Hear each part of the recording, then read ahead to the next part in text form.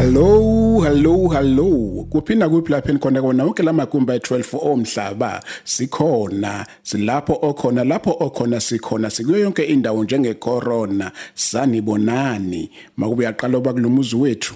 You are welcome and please subscribe. Isilomo somsakazo wokhozi FM nonhlahla Mroza Buthelezi. Sithi sifisa ukukhuthala abantu basemakhaya ikakhulukazi abesifazane. Bangazenyezi balwele imfundo nempumelelo.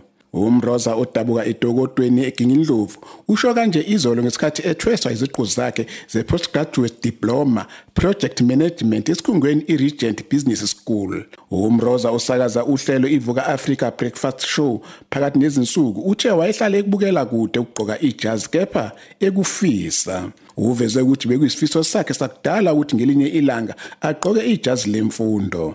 Ngithe uma ngiqeda uqhuba abafowethu esikoleni ngase ngiqala nami. Nginentshisekelo ngabantu basemakhaya ngoba nami ngidabuka khona. Ngifisa abazi ukuthi izinto ziyenzeka uma uzimisele kuchaza umroza.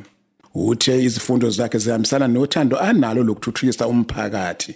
Ubonge umphathi wesiteshi sokhozi FM usibonge Ngcobo owambona ukuthi unothando lokuthuthukisa abantu wabe esemgqugquzela. Umroza uthi ngumphathi wamfaka ohlelweni lokuqwala intaba iKilimanjaro ukuze kuvele imali yokuxhasa abantu basemakhaya abantu layo ikakhulukazi amantombazane amancane agcina esaba kuya esikoleni uma eficwa isikhathi senyanga. Umroza uthi abantu basemakhaya kufanele bavuke bazithathe bangasabi ukuziveza ukuthi basuka ezindaweni zasemakhaya ukuze kuqhuqhuzeleke nabanye.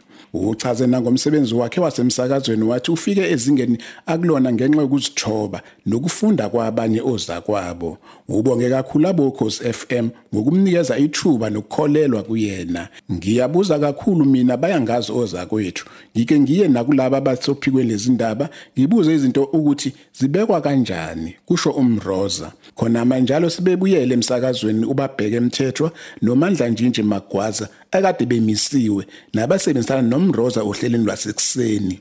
Phansi kwadlemba kudle eqeleni yalwazi udaba. Mina sengihembe. Sengihembe.